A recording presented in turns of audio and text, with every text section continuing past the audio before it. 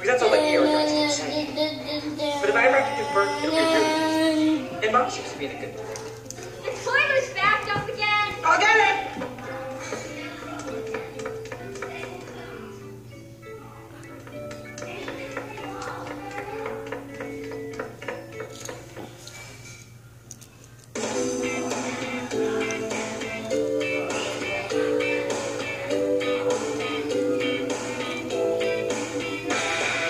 Obrigado.